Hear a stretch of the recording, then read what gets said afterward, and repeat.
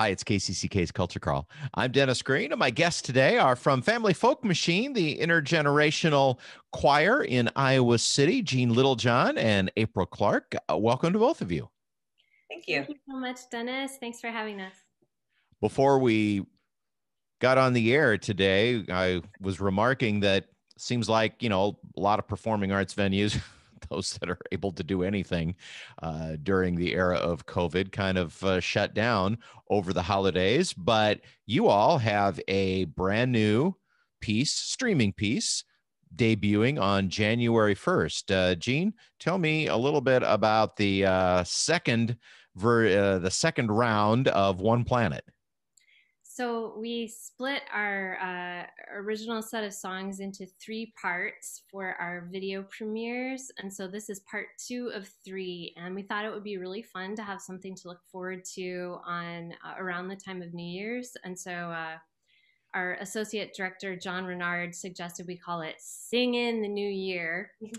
and so it'll be uh, New Year's Day at 7 p.m. and this will be a premiere on YouTube. So, of course, if you have big New Year's Day evening plans, you can watch it later as well. But um, we're going to have sort of a live event so people can watch it at the same time, just for something fun to do.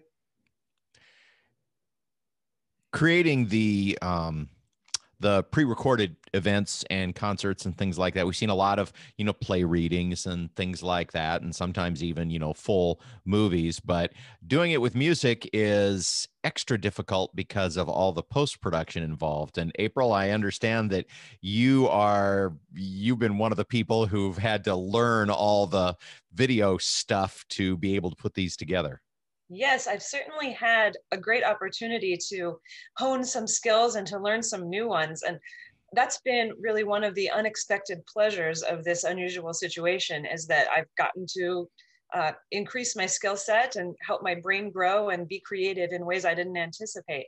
I've really upped my skills in the video production world and learned more about audio too, as I've observed some of what Jean and Gayla, our associate director, have been working on how many p- different pieces did you have to put together for uh, for these songs?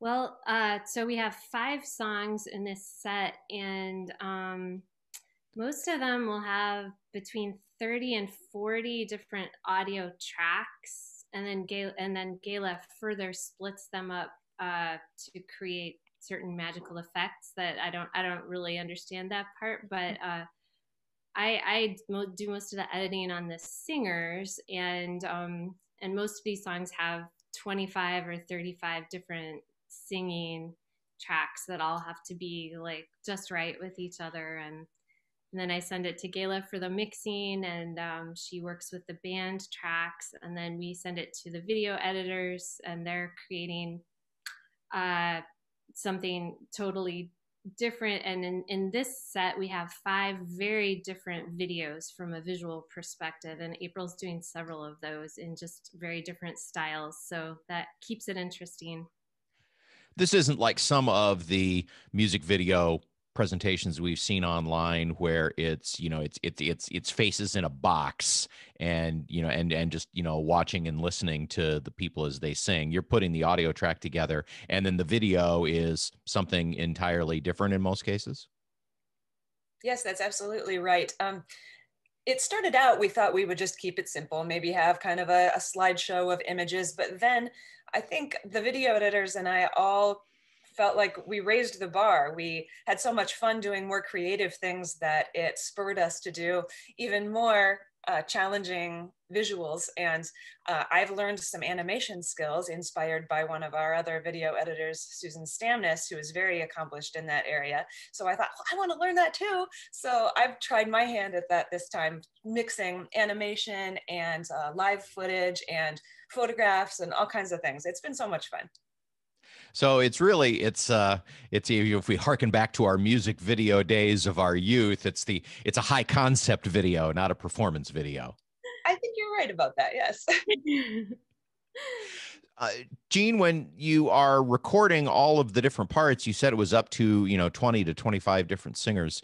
Uh, what what are they getting to help them stay in time? Are they singing just along literally to a metronome? Do you kind of have a little uh, performance uh, rhythm section track to keep them on uh, on time? How's that work?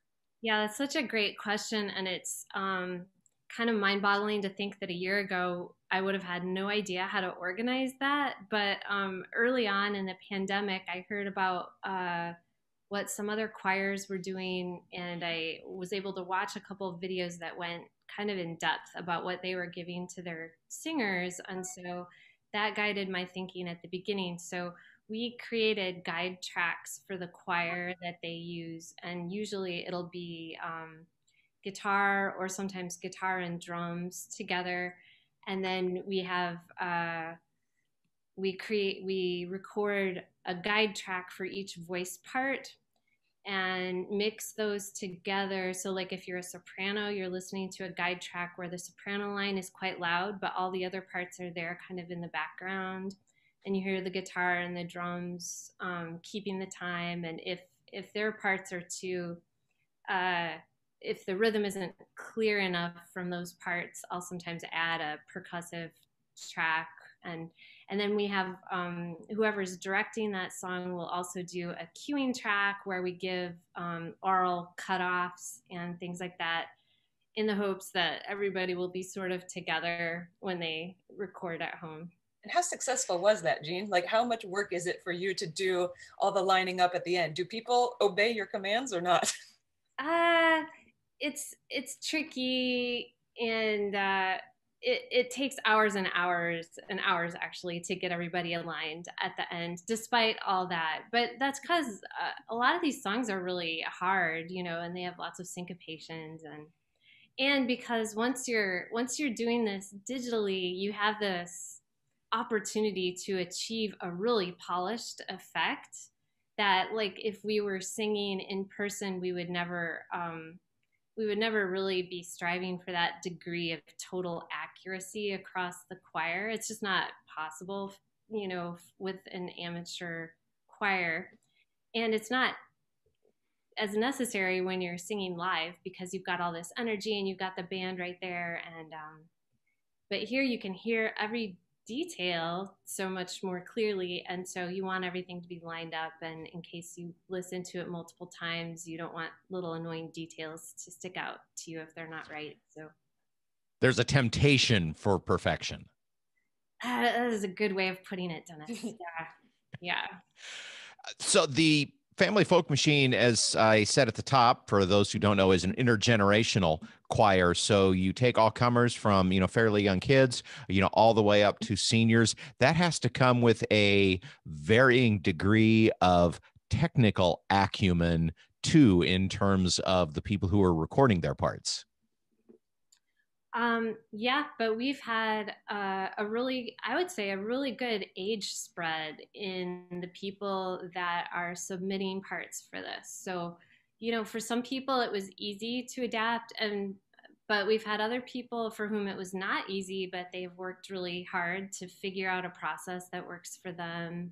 And so that's been really excellent. That's been really nice. So, five music videos that are going to be a part of this program. I know that the Family Folk Machine does, you know, has a composition arm, and that uh, you know that they're already working songwriters. Are any of these original, or are these all arrangements of songs that we know? Yeah, we are really excited. Uh, in this set, we have one original song, which is a song by our associate director, Gayla Drake, who, of course, is a really well established. She's written a few, you know, she might know her way around writing a song, maybe just a little bit. Yeah, and this one is a song called The Old Straight Track. And um, I think it's just really been a favorite of the choir to learn. The lyrics are kind of. Um, just mysterious and they give you lots of places to kind of grab onto them. And uh, and I'm really happy to say that even though uh, you know it's a song kind of has a sophisticated style and so it's not the easiest to sing in a choir because some of the rhythms are subtle and um, and the, you know the way the melody turns and stuff and i'm just i'm really really happy with the way the recorded arrangement turned out. It sounds fantastic and Gayla is really pleased about hearing it in this new guise and Aprille has created a video for that song that i think is just going to be really aesthetically interesting. Aprille do you want to give us any hints about yeah. it I, I decided I wanted to try to capture the um, kind of moodiness of the song and slight spookiness, but also uh, one of the lyrical contents of the song is the idea of togetherness and partnership and friendship. So I took um, footage from local and area parks on kind of windy, moody days, put them in black and white, and superimposed uh, silhouettes of different kinds of pairings of people kind of moving through the uh, video footage of local parks. And I, I hope it captures that spirit of, um, of moodiness and um, finding solace in scary times. Any other musical highlights you want to mention? Is the quiet in this set or is that next set, Jean? That's next set, yeah. Never mind, never mind, top secret.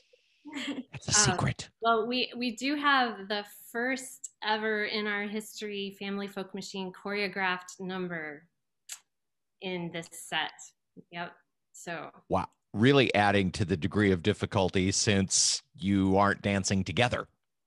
Yes. And oh, through the magic of video editing, we are. and Aprille has arranged that one too with the video. So that's great support from Claire Souter, one of our teen contributors. She did the choreography and uh, roped in some of her teen friends to be the, the dancing stars. And um, Alice Berner was another important choreographer in that song. It's Sing in the New Year, the second edition of the One Planet mini concert with the Family Folk Machine, streaming live beginning New Year's Day, January 1st at 7 p.m. Uh, how do people find the video if they want to watch it live or later? So we'll have a link for the YouTube premiere, and um, we'll be able to publish that earlier um, earlier in that week before January 1st on our website, familyfolkmachine.org and on our Facebook page.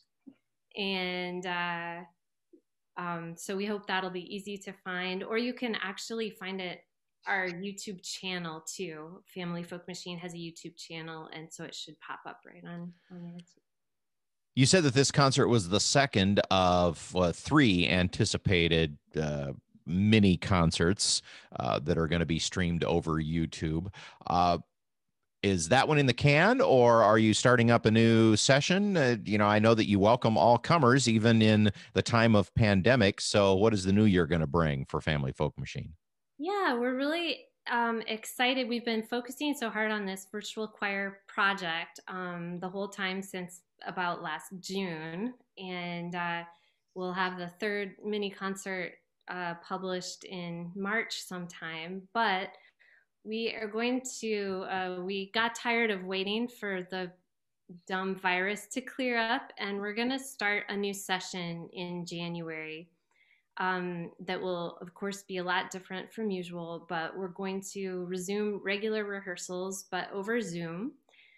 So, uh, probably like every other week or so, we'll meet for rehearsal on Zoom, and those rehearsals will combine uh, you know, just opportunities to just do more singing because a lot of us who are used to being in choirs are just not singing very much at home. I mean, for me, like my whole family is around most of the time and, uh, and everyone's having to respect each other's sonic space. And it's hard to make sure you have enough singing in your life. And so we thought it would just be great to provide an opportunity for people to reincorporate that and we're hoping hoping in these rehearsals also to include socializing. We're going to learn some new parts for new songs and just do some other musical learning too. And I'm really looking forward to this. That'll start up on January 10th, and people are most welcome to join us. Um, you can find more information on our website, familyfolkmachine.org, as the time gets closer and uh, I'll be happy to answer questions about that. You can contact me uh, through our website if you hit the contact button. Well, if uh, there's a singing void in your life and you'd like to join up, Family Folk Machine is starting up again right after the first of the year. And of course, you can get a little bit of a uh, taste of what uh, the music of the Family Folk Machine is like with the Sing in the New Year concert, which is debuting on the 1st of January. Aprille and Jean, thanks so much for being with me today. And uh, good luck as you roll that out. And hopefully, I uh, trust that the remainder of the winter, while we're all still isolated, will still be a fun experience as you gear up the choir and hopefully singing in person sometime soon again, too. I sure hope so. You can hear the Culture Crawl live on the radio weekdays at 1020 or download the podcast, watch or listen on your own schedule at kcck.org slash culture or using your favorite podcast app. I'm Dennis Green, and I'll talk to you later.